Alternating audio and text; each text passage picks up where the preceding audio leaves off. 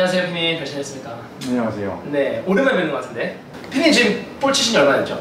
제가 지금 한 3년 3년 좀 안 된 것 같아요. 네. 보통 이제 처음 치실 때는 아무래도 슬라이스로 고생을 하시잖아요 그쵸, 엄청났어요. 네, 검색을 하실 거 아니에요 슬라이스 안 치는 거뭐 네. 하다가 제일 많이 듣는 게 이제 뭐 in-out 궤도 뭐 이런 걸 하다가 보면은 제 요즘 회원님도 그렇고 주변 사람들 보면 이제 훅으로 좀 고생하시는 분들이 많더라고요 그래서 네. 이때 훅으로 고생하시면은 와 나 슬라이스 났으면 좋겠다 이럴 정도로 이제 훅으로 많이 고민을 하시는데 제가 레슨을 해볼 내용은 뭐 슬라이스도 마찬가지지만 훅도 마찬가지로 좀 전체적인 다운스윙 궤도에 대해서 좀 말씀을 드리려고 하거든요. 공이 있다고 치면은 아무래도 슬라이스가 가장 많이 나시는 분들은 백스윙 올리신 상태에서 뭐 백스윙도 사실 되게 뭐 여러 가지가 있겠지만 그냥 올바르게 뭐 어느 정도 올라갔다고 가정을 했을 때 되게 out-in이 많아요. 그죠? 그래서 out-in이 많아서 out-in으로 깎아치시니까 이제 아무래도 뭐 in-out을 해라. 근데 여기서 in-out이라는 거는 내 몸 기준으로 조금 채가 이제 뒤쪽에서부터 들어와서 이제 바깥으로 나가는 거를 이제 말씀을 이제 하는 건데 말을 하는 건데 이 in-out을 이제 좀 잘못 이제 이해를 하시다 보면은 어떤 느낌이 많냐면은 어쨌든 저희의 몸은 계속 회전을 하고 있는 상태에서 이제 채가 그렇게 들어와야 되는데 나는 완전히 뒤집어지면서 채는 진짜 완전 밑에서 있을 정도로 에서 내가 이제 공을 잡고 치려고 하니까 완전 꼬꾸라지는 이제 드롭볼이라고 완전 이렇게 나오는 공이 많이 되게 많이 나와요. 연습을 좀 어떻게 하시면 좋으냐면은 어깨에 이렇게 채를 딱 댈 겁니다. 근데 보통 우리가 어깨 회전 연습하면은 뭐 이런 식으로 채 딱 가운데 몸을 이렇게 대고 뭐 이렇게 막 회전하는데 오늘은 그립 끝을 제 왼쪽 어깨에 딱 댈 거예요. 그립 끝을 옆에서 본다면은 그립 끝을 왼쪽 어깨 이렇게 여기서 또 중요한 포인트는요. 지금 제 어깨 라인이랑 클럽 헤드 라인이랑 이렇게 일자로 놓으시는 게 좋아요. 그러니까 예를 들어서 이렇게 있을 수도 있고 뭐 헤드가 이렇게 있을 수도 있는데 이 헤드까지도 좀 신경을 써주시는 게 좋아요. 왜냐면 이 헤드가 결국 스퀘어가 되어야 우리가 아무리 궤도가 뭐 좋건 안 좋건 헤드가 똑바로 들어와야 좋은 스윙이라고 제가 얘기를 하잖아요. 제가 아무리 궤도를 좋게 했는데 페이스가 막 열려 있으면 얘는 무조건 우측으로 터질 거고 닫혀 있으면 왼쪽으로 갈 거니까 제 어깨 라인에 맞춰서 헤드까지 이렇게 놓으실 거예요. 그 다음에 첫 번째 단계로는 완전 수평으로 그러니까 똑바로 서셔가지고 수평으로 옆으로 돌았다가 이렇게 옆으로 돌면서 지금 제 가슴에 그러니까 어드레스 때의 이 가슴 위치죠. 요 위치에 공이 있다고 이미지를 그리고 이렇게 공을 친다고 생각을 하는 거예요. 1번으로. 요렇게 요렇게 연습을요. 그럼 이제 이것도 안 되는 분들은 똑바로 섰는데 여기서 갑자기 막 이렇게 들어오는 분도 있을 수 있고요. 어뭐 막 이렇게 들어오는 분도 있을 수 있거든요. 근데 최대한 내가 옆에서 옆으로 이렇게 공을 친다는 이미지여야 돼요. 옆에서 옆으로.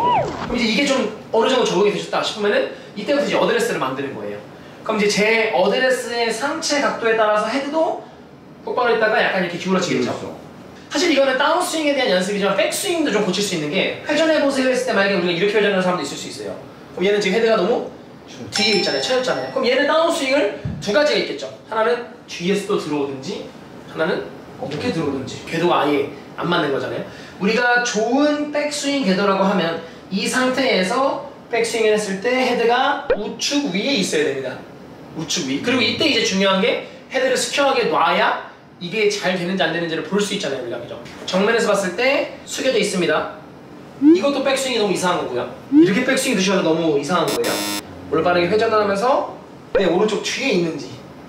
여기서 또 중요한 거는 공을 놓으신 상태에서 내가 얘를 친다고 이미지를 그리는 거예요. 그 다음에 백스윙을 하신 상태에서 얘를 치려고 하는데 훅이 너무 많으시는 분들은 이렇게 들어올 거예요, 이제. 어... 그러면은 딱 봐도 자기가 어 나 헤드 여기 있으면 공 못 맞추겠는데? 라는 생각을 무조건 하실 거고요. 또 만약에 반대로 슬라이스 치는 분들은 이렇게 오면 어 나 이걸로 헤드 공 못 맞출 것 같은데? 라는 생각을 할 거예요. 그럼 우리가 이 상태에서 공을 올바르게 맞추려면은 최대한 그대로 이렇게 들어와요, 공 쪽으로. 어... 그럼 진짜 눈에도 헤드가 square이 돼 있으니까 아, 이게 똑바로 맞았구나라는 이미지가 나오거든요. 신기하다. 네, 요렇게. 이렇게 하면 와 이거 헤드가 너무 뒤에 있잖아. 이미 지금 내 몸은 다와 있는데 못 맞춘단 말이에요. 그럼 이제 여기서 우리가 할 수 있는 거는 감아버리는 뭔가 하겠죠. 그렇죠. 예, 그러니까 이제 내 몸만 일단 보자면 놓고 여기에서 그대로 이렇게 예를 들면요. 채를 잡고도 생각보다 살살 아까 그 몸 느낌으로 아 백스윙 다운스윙 이런 식으로 쳐보는 거예요 일단 어차피 팔은 몸에 딸려 있기 때문에 당연히 팔도 뭐 써야겠지만 기본적인 저의 몸 느낌만 좀 있으면은 만약에 아까 이렇게 됐으면은 어떻게 할 수가 없잖아요 그러니까 그 느낌으로 연습을 헤드 위에 있는 것도 좀 느껴보고 여기서 최대한 그대로 그대로 오는 느낌 가지고 다시 한 번 더 어드레스 쓴 상태에서 백 이렇게 치면은 뭐 공 맞추는 거야. 뭐 깔끔한 궤도를 맞출 수 있고 오. 궤도가 좀 전체적으로 근데 수정이 될 거거든요. 오, 엄청난 드릴인데. 음 간단하지만 되게 좀 네. 효과는 좋을 거예요. 내 몸으로 셀프로 느끼기도 되게 좋고 훅으로도 고생하시는 분들 요즘 좀 많아요. 되게 막 이렇게 완전 치시는 분 너무 많아서 네. 이것도 마찬가지로 그냥 direct 떨어지는 느낌이 연습하기 되게 좋은 거고 그래서 어, 좋은 드릴, 좋은 감사합니다. 연습해 보겠습니다. 또 더 좋은 걸로 가지고 또 찾아뵙도록 하겠습니다. 네 이상 더 골드 클래스의 김정프로였습니다. 감사합니다.